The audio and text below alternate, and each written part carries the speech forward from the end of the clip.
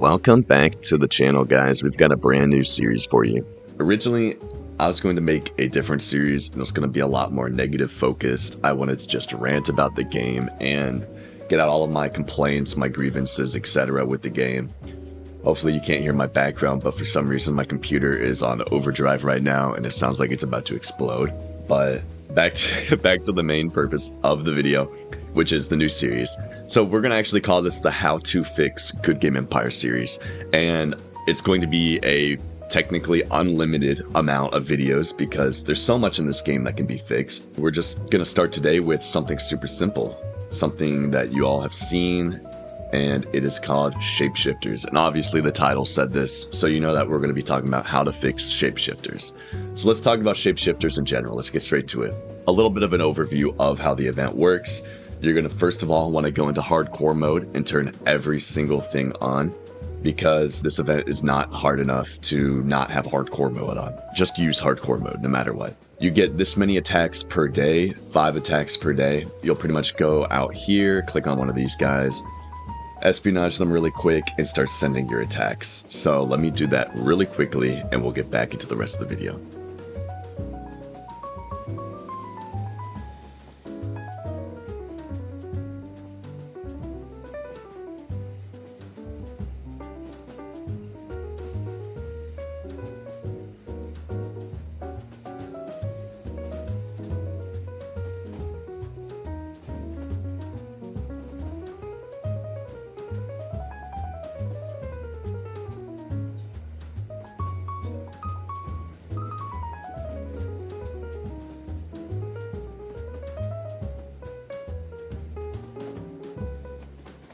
We've got all five attacks out now.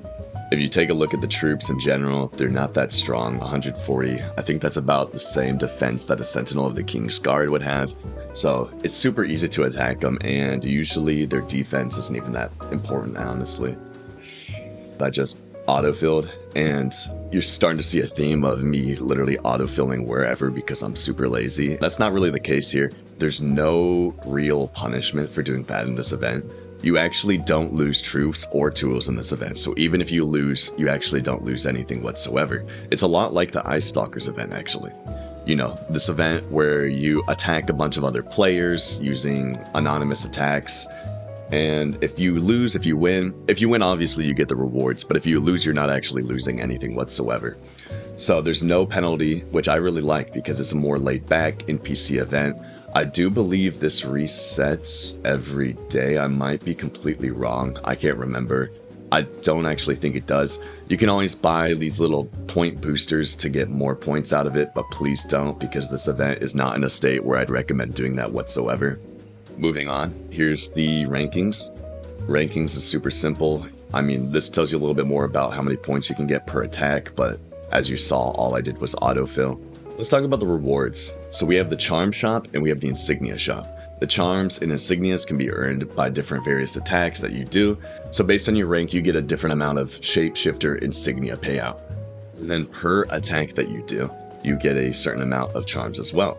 So I have all of my attacks out already, as you saw. Let's take a look at the actual rewards themselves. So first of all, the Charm Shop.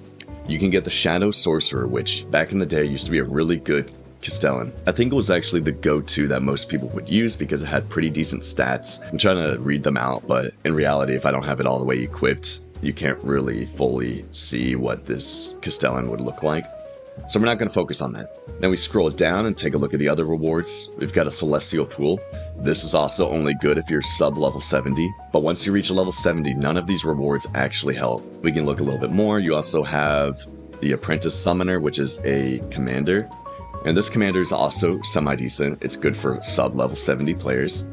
Then you have, you know, materials, which obviously at my level, like I've been saying this entire time, it doesn't really matter.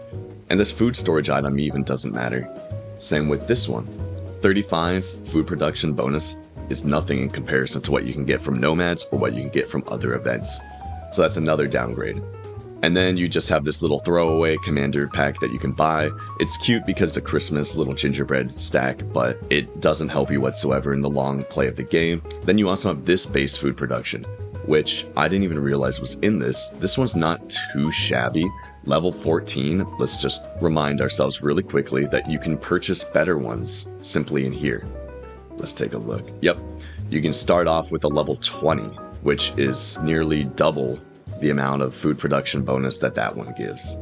So at the end of the day, there's nothing actually worth buying. Maybe if you're super desperate for a small amount of time to buy something like this, for example, you need food really badly, you need the increase, you don't have the gold tokens or whatever these things are called, gold pieces. You don't have the gold pieces to afford that. You just need to fill up your castles really quickly with food production bonuses. Then maybe it makes sense. But I'm spending way too much time talking about the charm shop. Goddess of Nature, complete waste. You only buy this so that you can use the Fusion Forge, and that's a whole nother video in itself. Let's move on to the Insignia shop.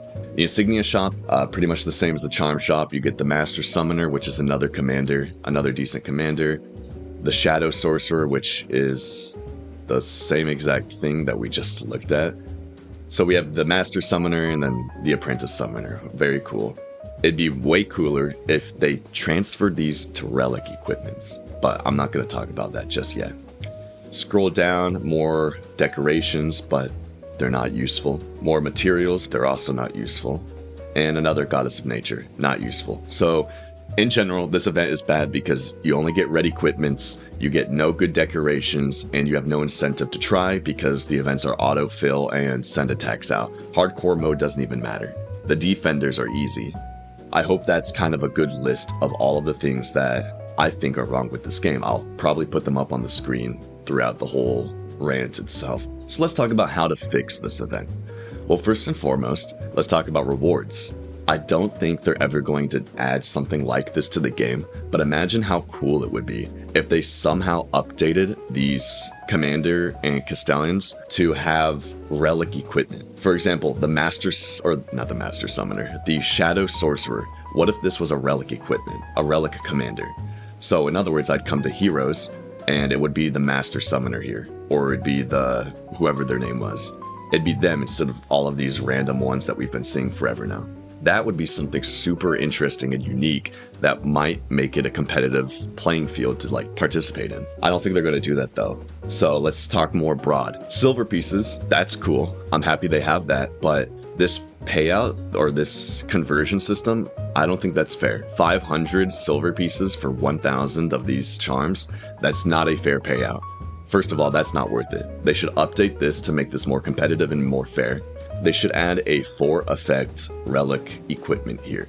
Maybe you can only buy it once per event. Even then, that makes this event way more worth playing and grinding for. Then they should update the decorations. These decorations should at least be around 3,000 public order. 3,000 is even low. You can get 3,500 public order from decorations in Nomad. So this should be at least 3,500, 3,000 ish. It should be competitive. It should be competitive with the other ones they already have in the game. Then they should update these, make these modern, make these more realistic as to what everything else currently is in the game. It's not that hard for this game to just update some of these decorations. They have this event in the game, but it's just gathering dust and it's not competitive at all. Furthermore, they should make the ranking system actually have more rewards. The, the ranking system should totally have better rewards, better incentives to grind, better incentives to be the top 10, top 20. It should be a lot like the monthly event or the Ice Championship where people want to grind, or just like Blood Crows, even. People want to actually participate in this event, grind it out, and get a good reward for all of the time they invest. Next, I think you should be able to buy Beyond the Horizon rewards here, or materials here. Maybe some fabrics. All of those Beyond the Horizon rewards are super beneficial this would be a great place to plug them so people can actually buy them. All we're looking for is a good variety of rewards so that obviously you're not going to be able to buy all of the rewards in one go, but it gives you something to think about of, hey, do I want to buy food production bonus? Do I want to buy more commanders? Do I want to buy relic equipment? You get the point. So just adding some more variety would be amazing. And honestly, just take the Goddess of Nature out. The Fusion Forge is a waste of time. Everyone knows that. So take that out entirely. Insignia shop, honestly the same, exact same thing goes. Add some more unique rewards here. They should add look items here, maybe unique permanent ones that have no effect, maybe some that are a couple extra wave effects, maybe some cool castle look items. You get the point. It's just I'd love to see some more unique art and unique stuff come out of this. And also, I just I do think that these are pretty pretty cool looking, and it would be cool if they updated them and made them useful. Perhaps they make one 4,000 public order, but it costs way more, way more, maybe like 60,000. You know, you have to save up for a long time to get it. I don't know. All I know is that they need to update this event and make this playable. Right, I'm gonna check back in once these attacks land, but I just wanted to really rant a little bit and talk about how this event could be better because I think it's a great event in general. I love the events where there's no penalty and no punishment for failing an attack as there are with Blood Crow and everything else. So it's always cool to have events like this, but it would be nice to have better rewards and a better system in place for this event if they're going to keep it in the game. If you have any ideas of your own, I'd love to see them in the comments because the reality is that Goodgame Empire might actually see this video and consider taking action. If enough people show interest in it, they might actually add it to the future things they're updating in the game. And if we can make any changes like that, that's all that matters to me personally. So I'd love to see what you think. Comment down below, and I'll check back in shortly. My attacks have returned. Oh, daily shapeshifter report. So it does look like it is a daily reward type of thing. The attacks were easy. One of them lost, so I deleted it because I was embarrassed that I sent one uh one one loss attack. But you get the point. You get some shapeshifter charms. You get some points earned. Uh, what are these called again? Wait, no, it still doesn't tell me. Okay, I earned some of these points. I can see myself in the daily ranking. I attacked four successfully, and I'm already top 10. That's how easy and barren this event is. Not that many people are actually participating in it. I don't even know how he has 90,000. Maybe he has some of these and just used them. I don't know what there is to gain out of it.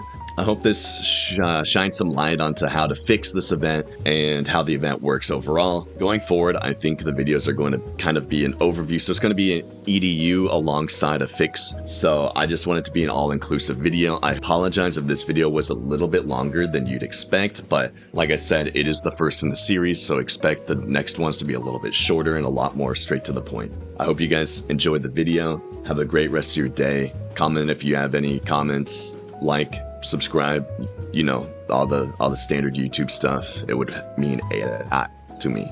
Thank you so much. Bye.